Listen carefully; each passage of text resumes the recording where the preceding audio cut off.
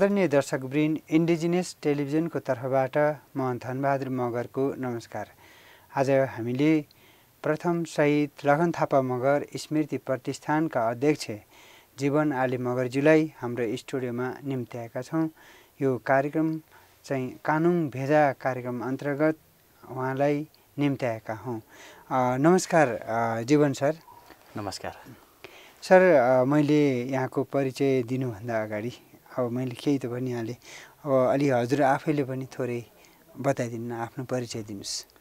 ए हजुर। म जीवन आले मगर नेपालका प्रथम शहीद लखन थापा मगरको स्मृतिमा एउटा प्रतिष्ठान हामीले दुई हजार पैँसठी सालमा स्थापना गरेका छौँ। हजुर सर। त्यो प्रतिष्ठानको अहिले अध्यक्षको रूपमा छु।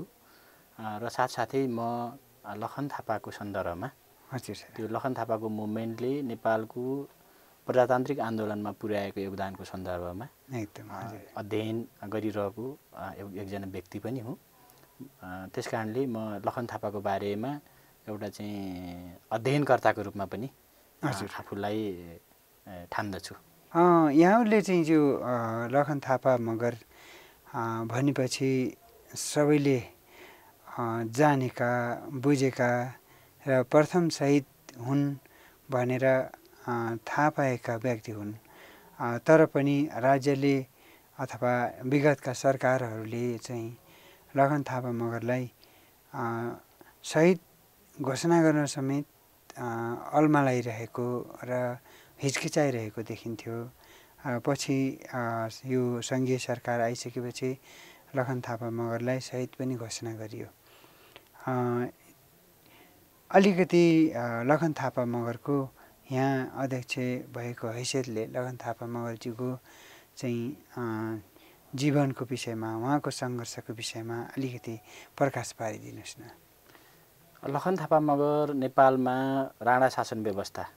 जुन चाहिँ जनविरोधी निरङ्कुश जहानिया शासन व्यवस्था थियो त्यो शासन व्यवस्थाको अन्त्य गरेर नेपालमा प्रजातान्त्रिक शासन व्यवस्था लिएर आउनुपर्छ भनेर सङ्गठित रूपमा विद्रोह गर्ने र त्यसका लागि जनजागरण गर्ने पहिलो व्यक्तित्व हुनुहुन्थ्यो र उहाँ गोर्खाको शहीद लखन गाउँपालिका हालको हजुर। शहीद लखन गाउँपालिका वडा नम्बर सात बुङकोट काउले भङ्गार भन्ने ठाउँमा उहाँले चाहिँ राणा शासनका विरुद्ध सङ्घर्ष गर्नको निमित्त किल्ला निर्माण गरेर उहाँले चाहिँ राजनीतिक दस्तावेज प्रजातान्त्रिक शासन प्रणाली सञ्चालनको राजनीतिक दस्तावेज समेत निर्माण गरेर उहाँले चाहिँ विक्रम सम्बत उन्नाइस सय सत्ताइसदेखि उन्नाइस सय तेत्तिससम्म मुभमेन्ट गर्नुभएको थियो र त्यो मुभमेन्टकै क्रममा हजुर। राणा सरकार समक्ष सरकारी निकाय मार्फत त्यो खबर पुगे पश्चात उन्नाइस सय तेत्तिसमा उहाँलाई चाहिँ गोर्खाको सोही किल्लामा लगेर हजुर। फाँसी दिने काम भयो र त्यस त्यही घटनाले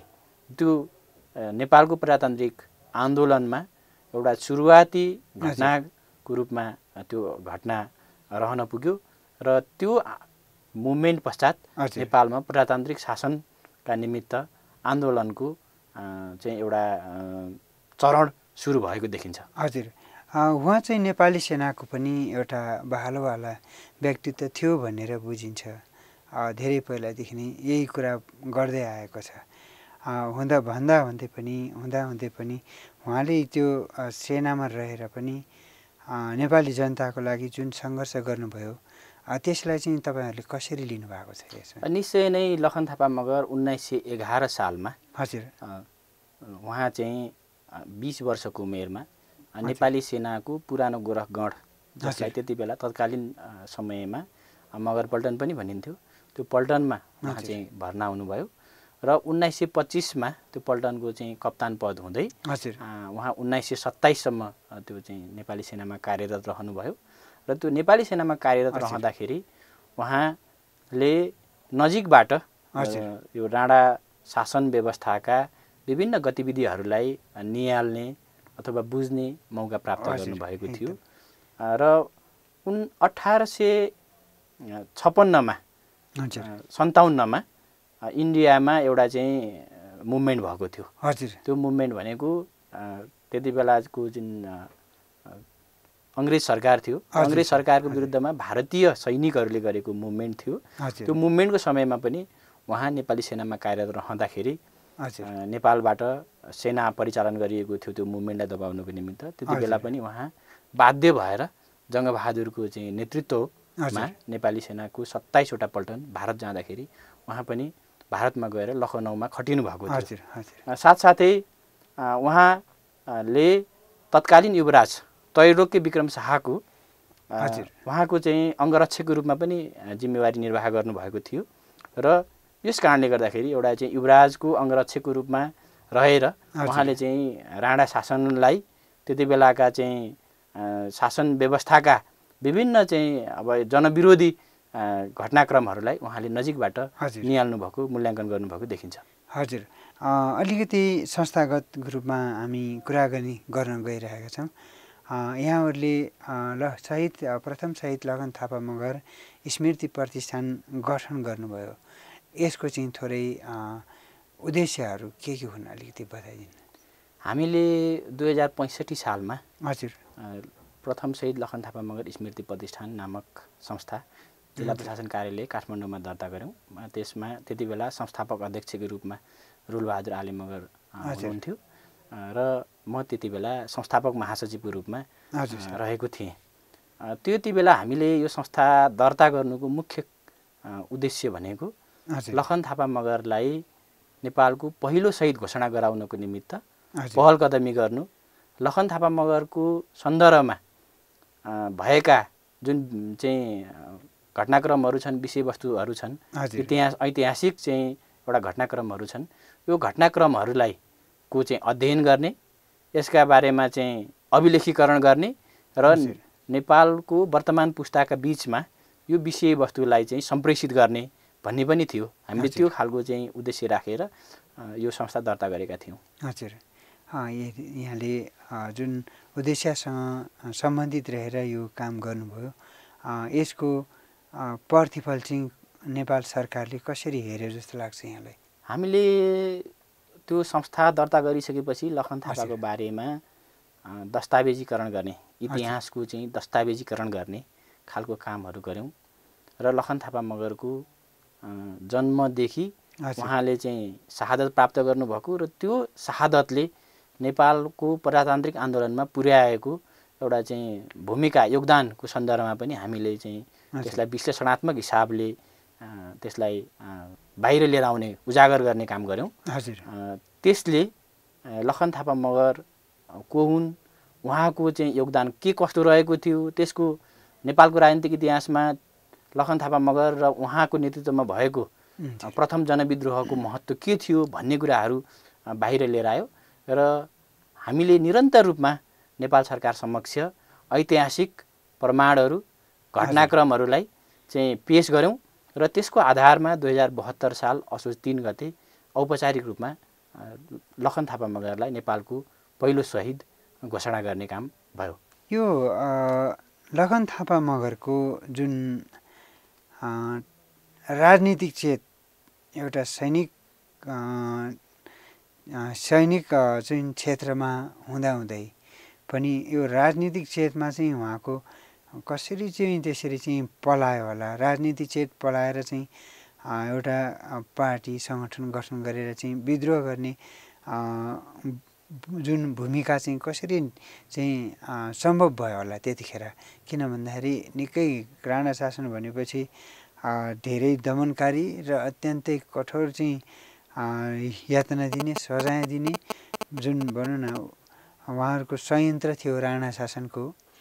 त्यो बेलामा पनि उहाँले विद्रोह गर्ने र जनतालाई चाहिँ जुन विद्रोहमा उतार्ने जुन काम गर्यो नि अब यो विषयमा चाहिँ थोरै यो चेतना चाहिँ उहाँले कसरी पाउनुभयो होला अनि सम्भव चाहिँ कसरी भयो होला यसरी भयो? मैले अगाडि पनि उल्लेख गरेँ। हजुर। खास गरेर उहाँले चाहिँ त्यो नेपाली सेनामा रहेर हजुर।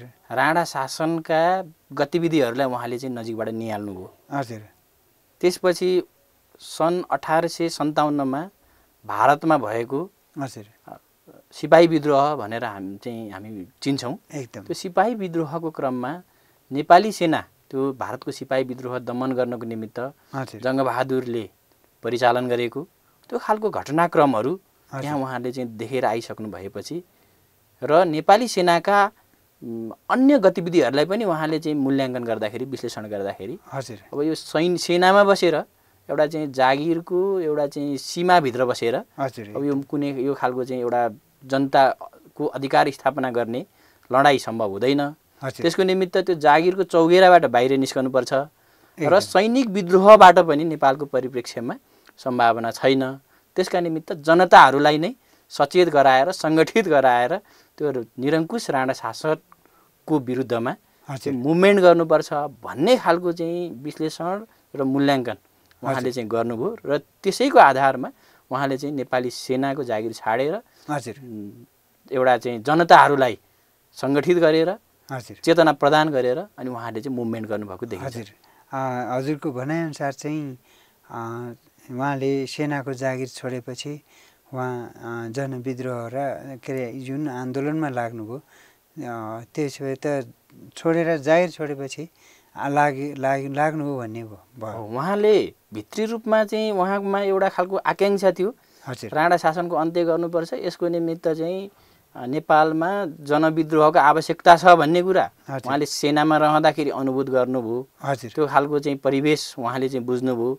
त्यो बुझिसके पछाडि उहाँले कप्तानको चाहिँ एउटा जिम्मेवारी पद त्यागेर उन्नाइस सय सत्ताइसमा उहाँ त्यो चाहिँ पद सेनाको जागिर छोडेर हिँड्नुभयो। र उन्नाइस सय सत्ताइसबाट चाहिँ उहाँले प्रत्यक्ष रूपमा यो चाहिँ राणा शासन विरोधी। एउटा चाहिँ विद्रोहको मुभमेन्टको। चाहिँ उहाँले चाहिँ लाई अगाडि बढाउने काम गर्नुभयो र यो उन्नाइस सय तेत्तिससम्म। चाहिँ यो जारी रह्यो जारी रह्यो यहाँले जुन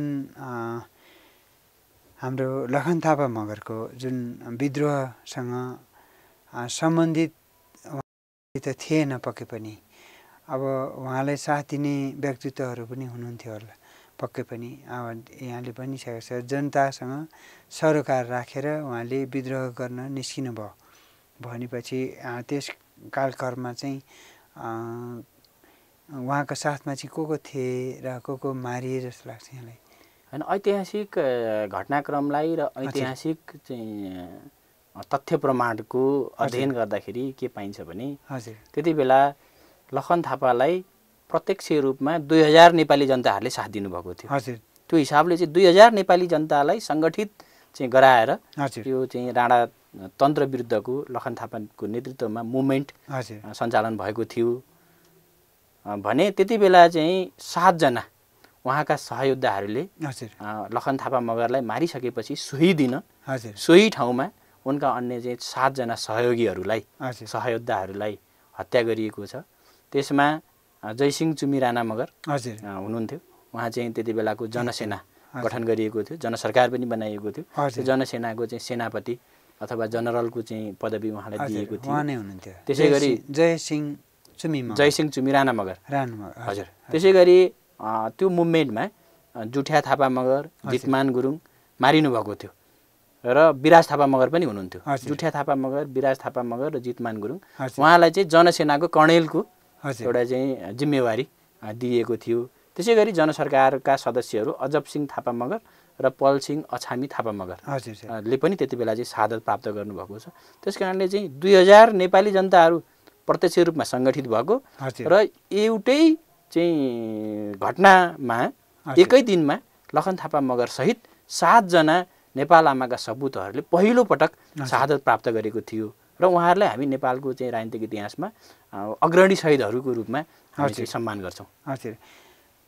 अब यो यिनी कुराहरूलाई हामीले छलफल गर्ने क्रममा नेपालको शहीदहरू जनआन्दोलनमा थुप्रै शहीद भएका छन्। चाहे जुनसुकै पार्टीका हुन् जुनसुकै पार्टीको नेतृत्वमा भएका हुन्। राज्यले चाहिँ त्यति शहीदहरूको सम्मान गर्न सकेन। उनीहरूको बलिदानलाई चाहिँ राज्यले त्यति हेर्न सकेन वास्ता गरेन भन्ने आवाज आइरहेको अवस्था पनि छ अहिले। र विगतमा पनि यस्तै व्यवहारहरू भएका थिए भन्ने कुरा छ होइन? अब यहाँको मूल्याङ्कनमा नेपालको शहीदहरूलाई जसले चाहिँ परिवर्तनको लागि चाहिँ रगत बोला बगाए आफ्नो बलिदान दियो ज्यानको बलिदान दियो यस्ता थुप्रै छन् यहाँहरूको मूल्याङ्कनमा चाहिँ उहाँहरूको लागि चाहिँ के हुनुपर्छ जस्तो लाग्छ अलिकति पहिलो कुरा शहीदको सम्मान भनेको हजुर अ, हामीले शहीदहरूले जुन व्यवस्थाको निमित्त हजुर जुन खालको चाहिँ एउटा जनता र देशको हितको निमित्त हजुर जुन। सपना देखेर उहाँले चाहिँ शहादत प्राप्त गर्नुभएको थियो। त्यो सपनालाई पुरा गर्ने दिशामा हामी अग्रसर भयौँ भने हजुर वास्तविक रूपमा चाहिँ शहीदको सम्मान हुन्छ। हजुर त्यसका साथसाथै नेपालको सन्दर्भमा धेरै शहीदहरू अहिलेसम्म घोषणा हुनुभएको छ। हजुर। त्यो सबै शहीदहरूको एकीकृत एउटा चाहिँ अभिलेख तथ्याङ्क राज्यसँग चाहिँ अहिले हामीले प्राप्त गर्न सक्दैनौँ। एउटा दुःखद। पक्ष छ। त्यो सबै शहीदहरू जसले देश र जनताको हितको निमित्त जनताहरूलाई अधिकार चाहिँ दिलाउनको निमित्त नेपालमा प्रजातान्त्रिक चाहिँ एउटा व्यवस्था को स्थापना गर्नको निमित्त उहाँहरूले चाहिँ शहादत गर्नुभएको छ। उहाँहरू सबैलाई एउटा चाहिँ सम्मान गर्ने राष्ट्रले चाहिँ सम्झिने। उहाँहरूका चाहिँ अ, एउटालाई प्रेरणाको रूपमा लिएर हाम्रो एउटा चाहिँ राजनीतिक पद्धतिमा हजुर। हामीले चाहिँ त्यसलाई अवलम्बन गर्ने र त्यो दिशामा अग्रसर हुन सक्यौँ भने सच्चा रूपमा चाहिँ शहीदको सम्मान हुनसक्छ। एकदम। लखन सिंह लखन थापा मगरको जुन हत्या गरिएको वर्ष पनि धेरै भइसक्यो। तर पनि नेपालको सरकारले चाहिँ जुन किसिमको भनौँ न आलटाल गर्यो शहीद घोषणा गर्न यो कुरा नेपाल मगर सङ्घले धेरै पहिला पनि लगन लखन थापा मगरजीलाई चाहिँ अ, शहीद घोषणा गर्नुपर्छ भनेर चाहिँ आवाज नउठाएको होइन। यस बिचमा चाहिँ यति धेरै ग्याप हुनु सायद घोषणा गर्नुको ढिलाइ हुनुको कारण चाहिँ चाहिँ अलिकति के होला जस्तो लाग्छ यहाँलाई? कि ने राजनीति पार्टी दोष छ कि? नेपालको सरकार दोषी छ कि? अथवा कुनै विभिन्न कारणहरूले त्यस्तो हुन सकेन? समयमै हुन सकेन? उहाँलाई न्याय दिन उहाँको पारिवारिक रूपमा उहाँको योगदानको कदर हुन सकेन? यस विषयमा थोरै बताइदिनुहोस् न। मैले यसमा दुई तिनवटा हिसाबले यसलाई हेर्ने गरेको छु। हजुर सर एउटा कुरो नेपालको परिप्रेक्ष्यमा।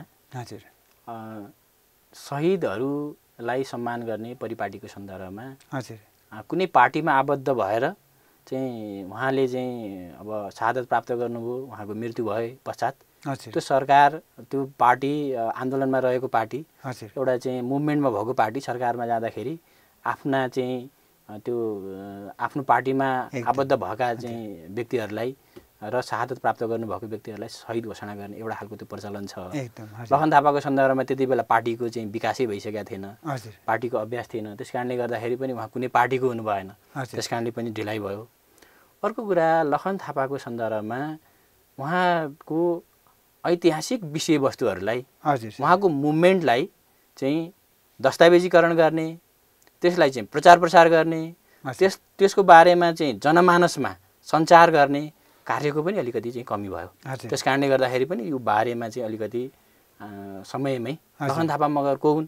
इतिहासको गहिरो जानकारी भएकाहरूलाई लखन थापा मगरको मुभमेन्ट यो हो। लखन थापाको चाहिँ आन्दोलनको चाहिँ महत्त्व यो हो भन्ने कुरो जानकारी थियो। त्यो अलिकति इतिहासको चाहिँ गहिरो जानकारी भएका व्यक्तिहरूलाई।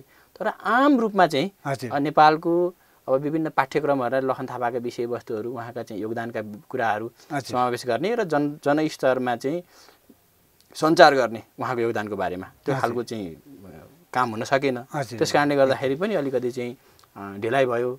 र अर्को चाहिँ अब नेपालमा अब दबाव प्रभावमा विभिन्न निर्णयहरू हुने गरेका छ। अब हामीले अलिक पैरवी गर्ने एउटा चाहिँ निकायहरू संस्थाहरू अथवा त्यस्तो खालको चाहिँ त्यो बौद्धिक वर्गको पैरवी पनि यसमा चाहिँ जुन हिसाबले हुनु पर्थ्यो त्यो हिसाबले समयमै अलि हुन सकेन। त्यस कारणले चाहिँ ढिलाइ भयो। खास गरेर यसमा लखन प्रतिष्ठानले यो चाहिँ यो लखन थापा मगरको।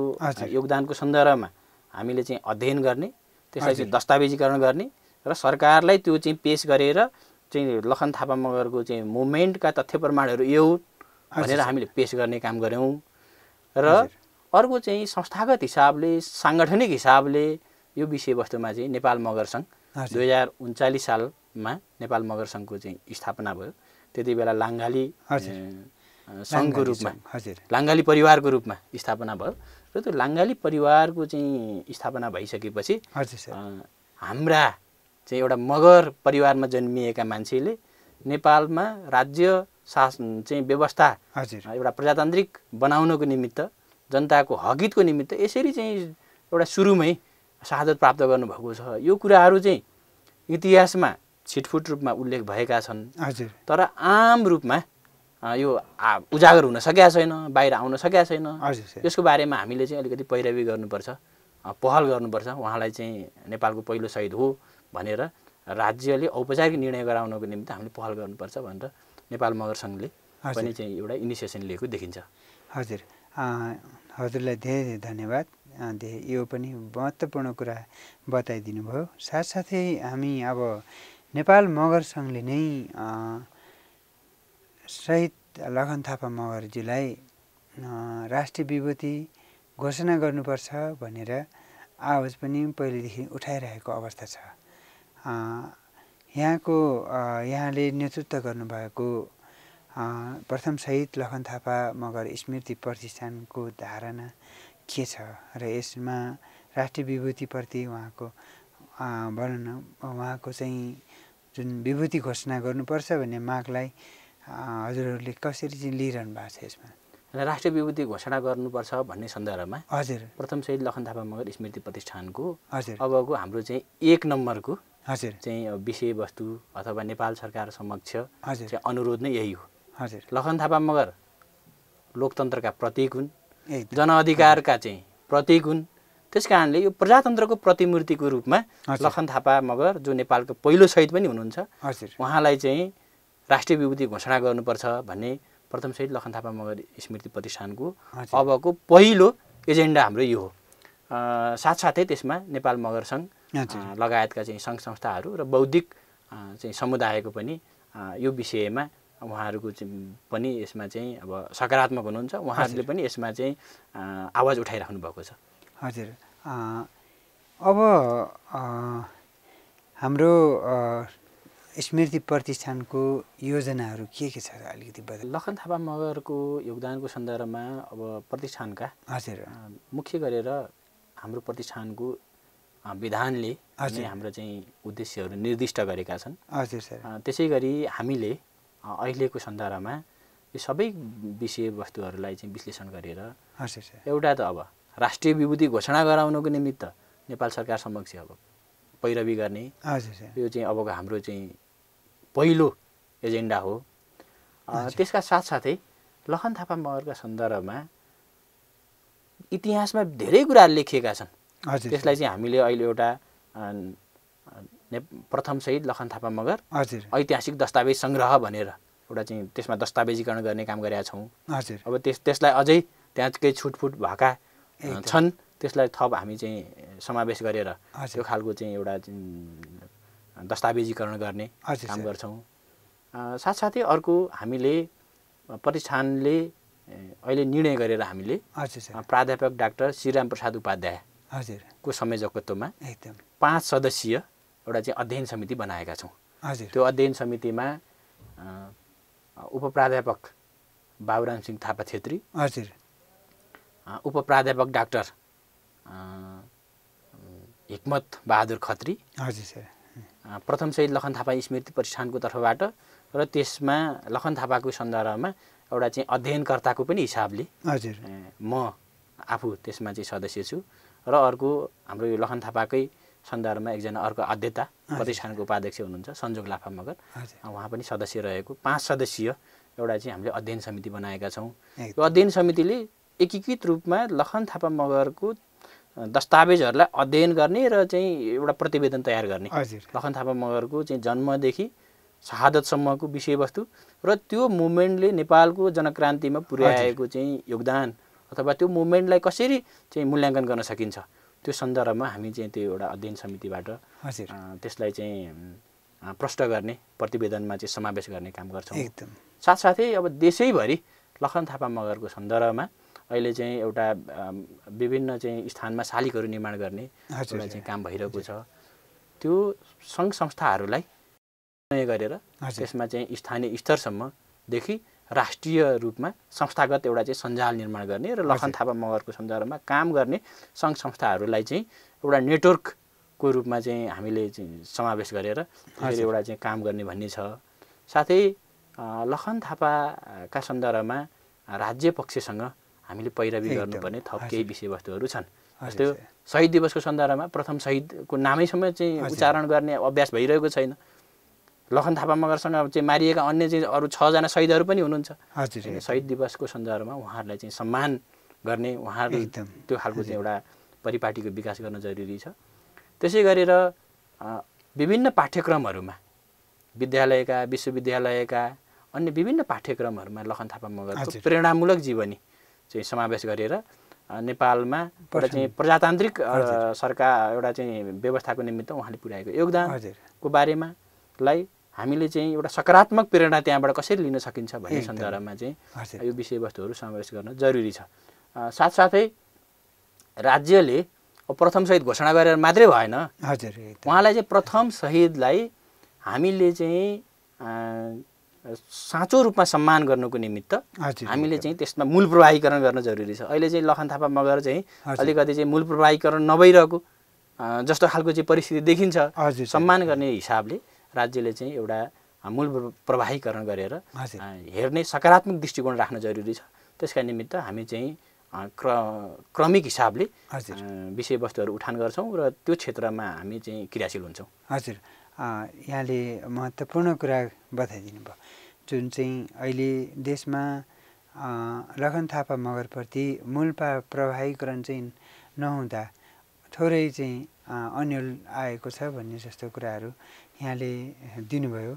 वास्तविक रूपमा त्यो पनि हो किन भन्दाखेरि नेपालमा लखन थापा मगर मगरको मात्रै हो भन्ने हिसाबले हेरियो कि जस्तो पनि अलिक पूर्वाग्रही राख्यो भन्ने पनि लाग्छ। त्यस कारण यहाँलाई हाम्रो स्टुडियोमा आइदिनु भयो हजुरलाई धेरै धेरै धन्यवाद। अन्तमा केही छुटेको छ भने थोरै बताइदिनुहोस् न यहाँले। होइन म जाँदै जाँदै के भन्न चाहन्छु भने नेपाल सर। सरकारलाई पहिलो अनुरोध के गर्न चाहन्छु भने हजुर सर। लखन थापा मगर उहाँ पछाडिका चाहिँ शहीदहरूको निमित्त पनि प्रेरणाको पहिलो स्रोत हो हजुर एकदम उहाँ प्रजातन्त्र लोकतन्त्रको प्रतिमूर्ति हुनुहुन्छ एकदम त्यसै गरेर उहाँ चाहिँ त्यो लोकतान्त्रिक प्रजातान्त्रिक आन्दोलनको चाहिँ एउटा उद्गम। एउटा चाहिँ प्रस्थान बिन्दु लखन थापा मगरको मुभमेन्टबाट सुरु भएको देखिन्छ। त्यस कारणले गर्दाखेरि यो नेपालको परिचयलाई। एउटा प्रजातान्त्रिक मुलुकको एउटा परिचयलाई हामीले चाहिँ विश्व सामु परिचित चाहिँ विश्व सामु चिनाउनुको निमित्त पनि।